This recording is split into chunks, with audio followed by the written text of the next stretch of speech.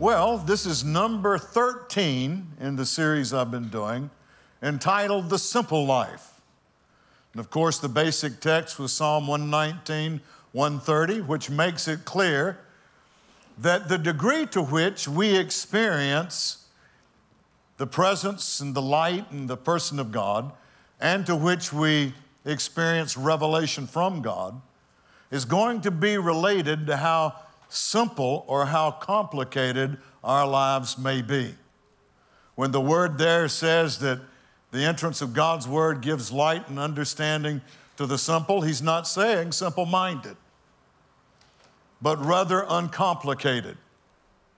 So, the degree to which we can simplify our lives will enhance the degree to which we experience not only the presence and glory of God, but the revelation that brings us the, the purpose of God, the power of God, and everything else. So, simplifying our lives, we have in recent Sundays, the last four or so, been focusing on relationships.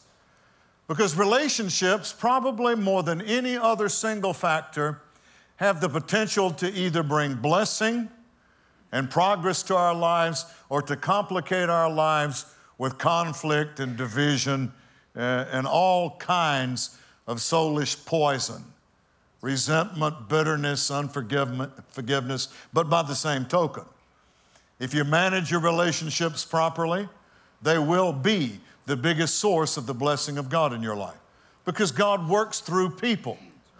And so, to the degree to which we understand scriptural principle about proper management of our relationships is really going to determine to a significant degree what kind of experience of God we have because He works through people.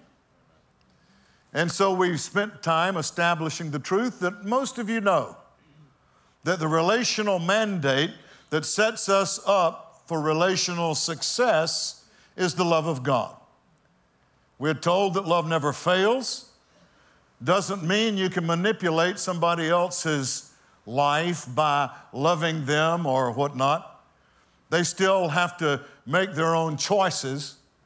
But love never fails in the sense that it never grows old and it's always the best option for the kind of relationships that God can use in your life. And so, you know, we have spent time in past Sundays talking about how love is to look. What does it mean to love? It isn't simply an emotion, a soulish sense of affection for somebody, although that will be part of God's outworking of His love in your life.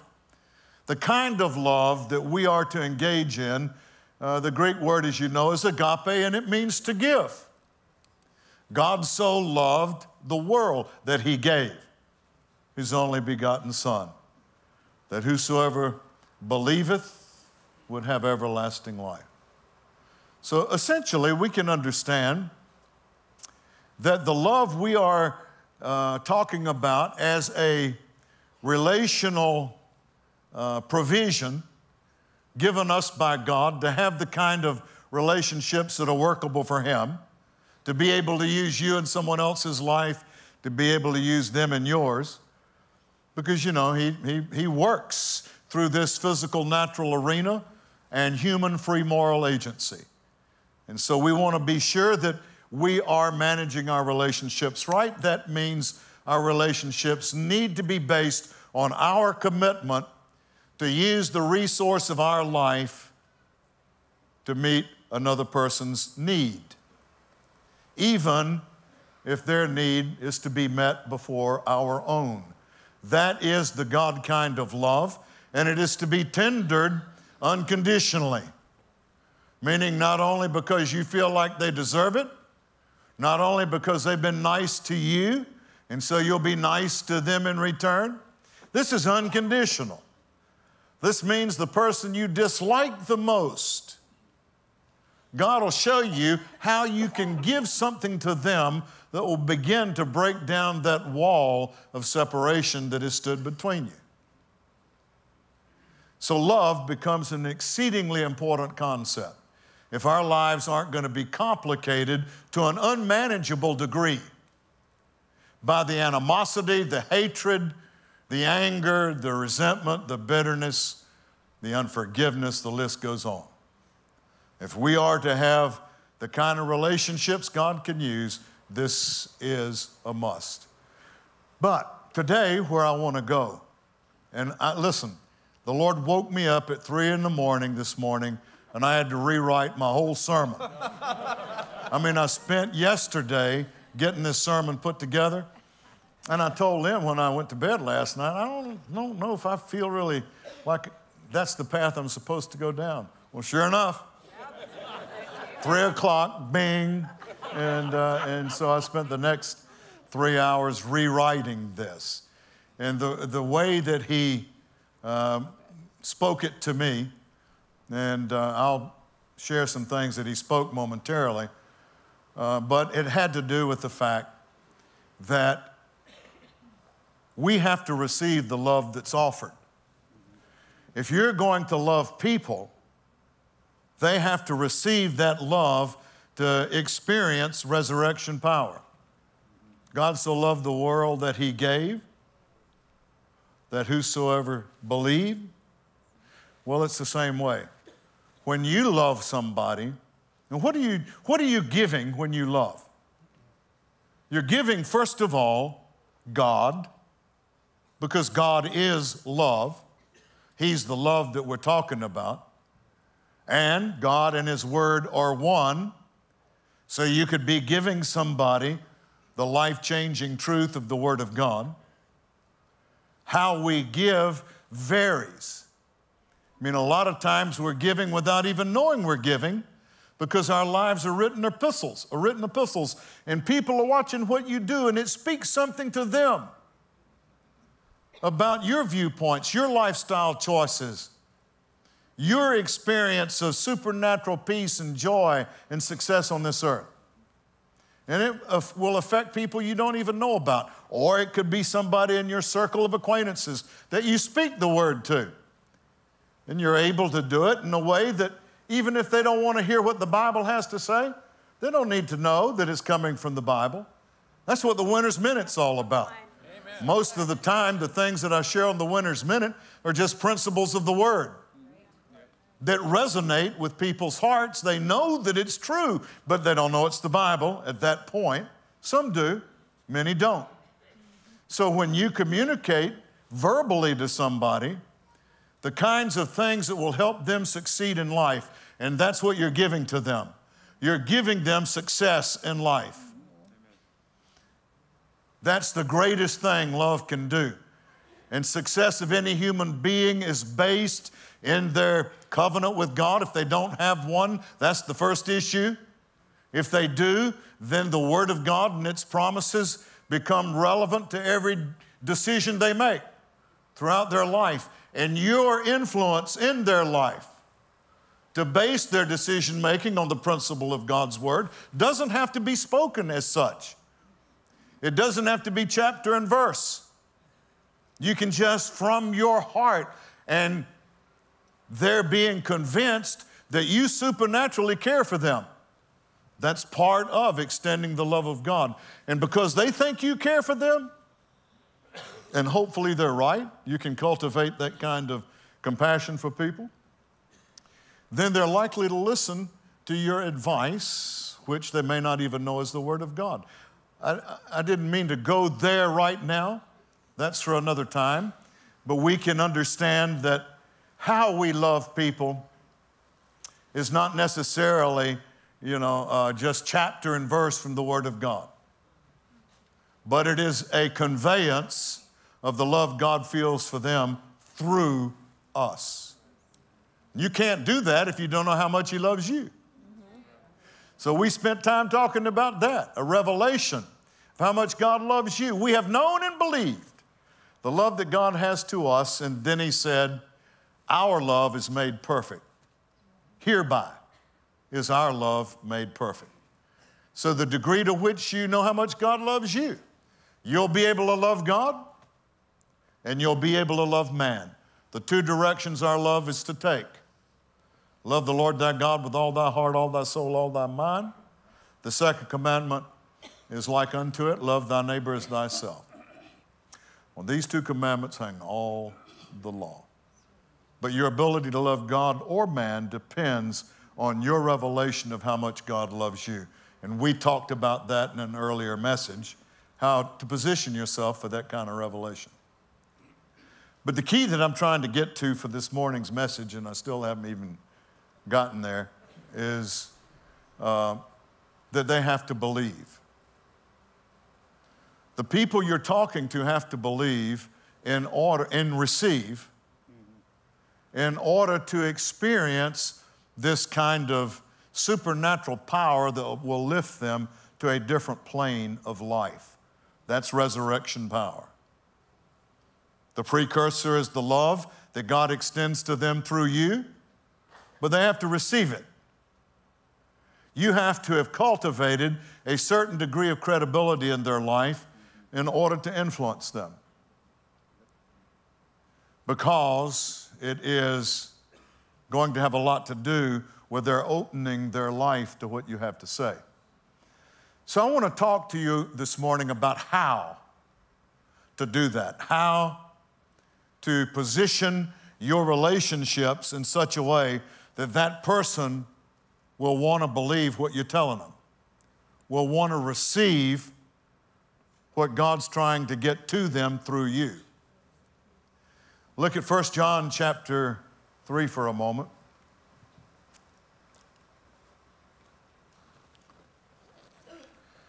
First John chapter 3. We've been here in a previous sermon on, in this series.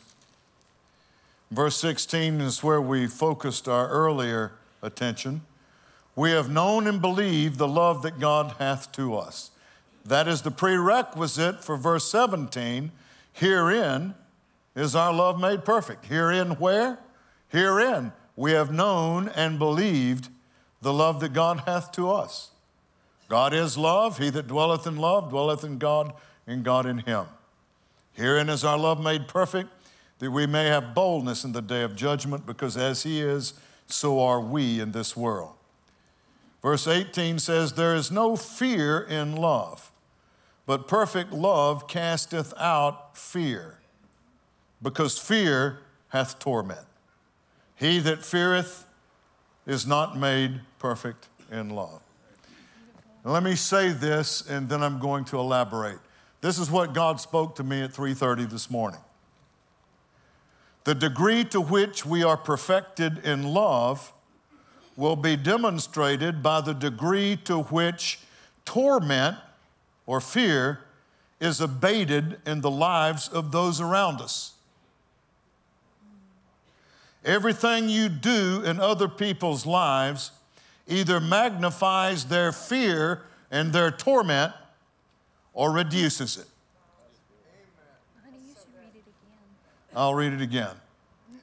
The degree to which we are perfected in love, remember, uh, that happens by the revelation we have of God's love for us. But the degree to which we're perfected in love will be demonstrated when we are mature in love by the degree to which torment or fear is abated in the lives of those around us. When we understand that our relationship with other people is primarily determined to rid them, give them an escape from the torment that fear has brought them to that point in their life. And he went on to say, everything you do in other people's lives either magnifies their fear and torment or reduces it. When you reduce someone's torment, they're going to listen to you. They're going to be influenced by you. When their relationship with you brings them a sense of greater stability, greater freedom from fear, worry, and anxiety. These are all forms of fear. Cares, anxiety, worry, that's just fear. God hadn't given you a spirit of fear, so it doesn't come from Him. It is the enemy's tool because it's a form of faith, it's a form of believing. It's just believing the wrong thing that the doctor's report is going to be right that God doesn't care about your financial prosperity. You're going to have to live in poverty to be a decent Christian. I mean, all of the things that we fear. Not having enough money to pay the bills at the end of the month. Not knowing uh, that this report we got from the doctor's office, is that really something that I can believe and see God rectify? Fear and unbelief in the Word of God always go hand in hand. And every kind of torment a person can experience on a soulish level is rooted in fear. No matter what term torments you, it can be traced to a root of fear. And so, if we are perfected in love, and love casts out fear, which is what we just read, then when we love somebody, we will be reducing the torment that fear produces in their life. And when you think of it this way, everything you do in relating to another person is either going to reinforce their fear and therefore the torment they feel, or it's going to reduce it. And when their association with you begins to reduce the torment they have to deal with on a regular basis, you better believe me, buddy, you're going to be able to speak into their life. They're going to want to hear what you have to say because they have seen a fruit of their relationship with you that, you know, they didn't suspect was possible. A lot of it may come just by watching your lifestyle. If you're perfected in love, fear isn't going to be controlling you. They're going to see that your joy and your peace is not dependent upon circumstance. You're going to have a smile on your face. You're always going to have a word of encouragement. You're going to be a happy camper. And this isn't a natural condition in a fallen world that we live in. So you're going to have to get yourself squared away in the morning when you get out of bed if anybody's going to be able to look at your life and be encouraged by it. If you roll out of bed on what, the wrong side, uh, as the cliche goes, and you go into work with a scowl on your face, or you know, you're biting people's heads off when they say this or ask that, all you're going to do is reinforce their torment. I could spend a lot more time on this than I'm going to have this morning. But one of the easier ways to, to do this may be this is what the love chapter is all about. This is how you increase someone's receptiveness to God. God and His Word are one, so His Word, or you extend the love of God through your life to them, uh, and you increase their receptiveness to all of this, producing resurrection power in their life. How? Well, uh, first chapter of, uh, or 1 Corinthians 13, chapter, I ought to know that by heart. I've been there enough. Uh, 13, 4. And of course, you know, we might as well turn there. Because what I want to do is read it to you. And I want to read it to you from the standpoint of seeing how it reduces fear in somebody else's life. This isn't a comprehensive list of everything you do in order to extend the love of God. There are many other things that have to do with relationships that aren't spelled out in the love chapter. So this isn't a comprehensive listing, but it is a, a, uh, a beginning of the kind of fruit your life needs to bear in order to bring reassurance and peace to someone else instead of reinforcing their fears and their torment. Charity, verse 4, suffers long The word charity in the King James means love. Suffers long. The Amplified uses the word patience and endurance. And it means that you endure and are patient with people no matter where they are or what they do. Their behavior can be so counter to the Word of God that you just want to wash your hands of them. But you continue doing what you can do to love them no matter what they do. You endure their disobedience, you endure their offensive behavior, you endure their shortcomings, you be patient with them because you know that love never fails, and if you keep at this, you're eventually going to find a breakthrough somewhere. Now, if you're not patient, if you don't endure their shortcomings, if you wash your hands of somebody who doesn't live up to your expectation or who isn't spiritual enough to be on your level, whatever uh, you may want to do to, uh, to lengthen the distance between you and that person, says to them that they're not worthy of your association, your friendship, or your love. There certainly is no unconditional love in that. And then it associates your patience and your endurance with kindness. I mean, you can't be patient in the God kind of way uh, and, you know, still act ugly. It means you be kind to people when they don't deserve to be kind to. This is the hardest one for me sometimes.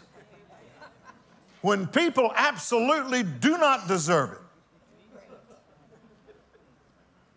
But then, you know, the Lord will jerk the slack out of you when suddenly you realize you don't deserve the kindness you're getting.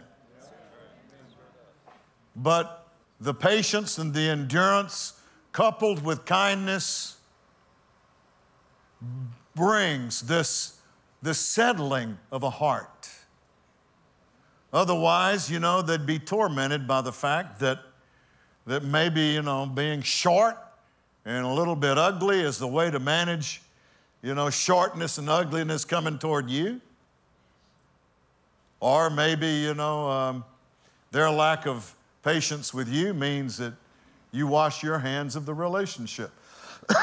so, you can see how this works to either magnify their torment or begin to moderate their torment.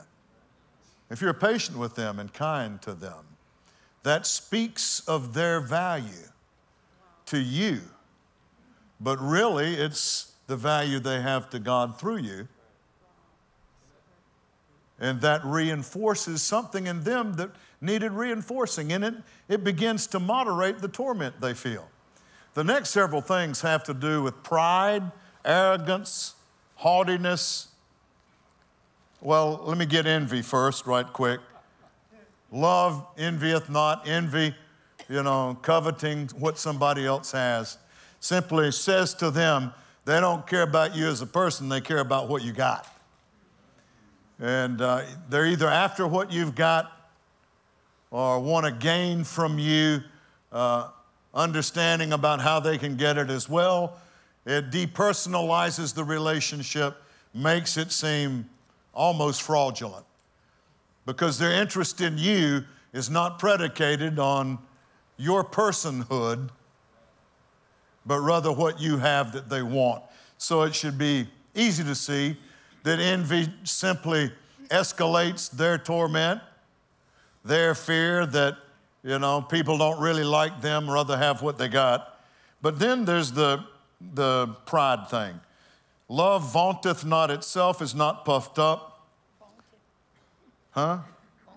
Vaunteth, yeah, well. Doth not behave itself unseemly. Well, these are, these are all talking about your, the tendency to be proud or arrogant or holding up to people all that you've done. When you are verbal about everything you've done, all the great things you've done. And really, the people that talk a lot about themselves in this way are really, most of them are probably pretty insecure about their own self worth. But what happens, someone that is constantly talking about their accomplishments uh, in a prideful way. This is what I was able to do. And even if we shuffle it off on God and say, well, God did this for me, you know, but I, I believed and I received, we usually bring the credit back to ourselves. And when you talk about yourself all of the time, then once more that says to that other person, you don't care about them. You care about yourself. That's all you talk about. And you've lifted, you've elevated your performance to a point where it's not likely anybody else can achieve that. And so it reinforces the torment they have to deal with. So humility does exactly the opposite. It invests its interest in somebody else instead of in what you've done. It elevates the importance of the other person beyond yourself. And you're doing that for their benefit. Because God has said we're all equal in Christ. But when you elevate what they've done and you extol their accomplishments, you are eliminating torment in their life, the torment that they're not measuring up and that they're failing in this life. They're making, you're making yourself trustworthy enough to them to listen to. They want to be around more of this because it's having a, uh, an effect in reducing the torment that fear that they're not measuring up would otherwise bring. Goes on to say in verse 5 that love seeketh not her own. And this is part of what being humble is all about about looking for ways to help other people instead of help yourself. If you haven't yet visited us in person, please know that you're welcome to join us anytime. We have three locations for you to choose from in Brooklyn Park, St. Paul, and Rogers. Just visit our website for service times and directions. We'd love to meet you and get to know you. Thanks for joining us today. Tune in again next week, and as always, remember God wants you to win in every area of life.